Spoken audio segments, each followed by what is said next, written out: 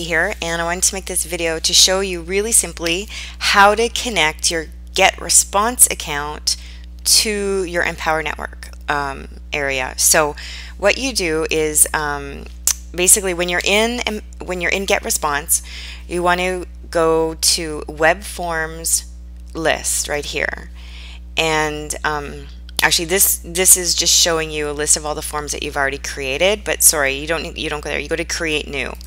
Um, so you're going to create a new web form. And it, it's really really simple. You don't really have to change anything. Just keep it as is um, and and leave the all these settings as is because they're not really going to get used anyways. Um, you, like you're not designing anything here. So just click on next step. And then you want to give it a name on the next screen um, so I personally gave it a name that I would recognize. So, you know, Empower Network um, underscore main or underscore list or something like that, whatever you want to call it. Um, okay. And you want to turn, make sure that all these settings are as is here. Confirm opt-in is off. Subscription via Facebook is off.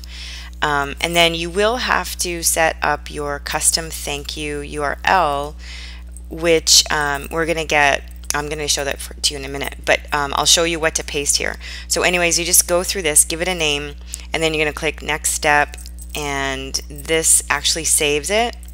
But I don't really want to save it, so I'm just going to go back and delete that if it saved it.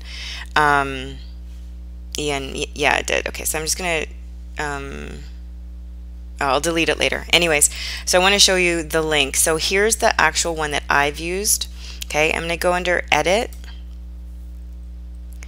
and um, it's actually under the Settings uh, section. To click on Settings, and then go down here and you'll see, okay, so this here is the link that you want to use. EmpowerNetwork.com forward slash commission loophole dot php question mark id equals and then you put in your id now mine's mine's mark and tracy but you're going to put your id there um, but i'll show you I, I, believe there's another place where you can get this as well um, this is where you want to send them to watch the 29 minute video that's going to get them interested in um, Empower Network. Okay, so that's the first step. Now, the next thing you have to do is when you go to the publish um, section or published page, right here, you're going to see a six digit number. You want to copy that, okay? So put that into your memory of your computer. And then what you want to do is jump over here to the Empower Network in your main dashboard area. Go to My Tools, Lead Capture, and then go down here where it says click here to add your GetResponse list. So you click there and you want to go down and put that six digit number right in here. Now here's the link that you use that I was just talking about a minute ago. So you put the link there, um, click submit, right? And um, you want to then copy this, right? And then that's what you actually want to go put under the settings form here.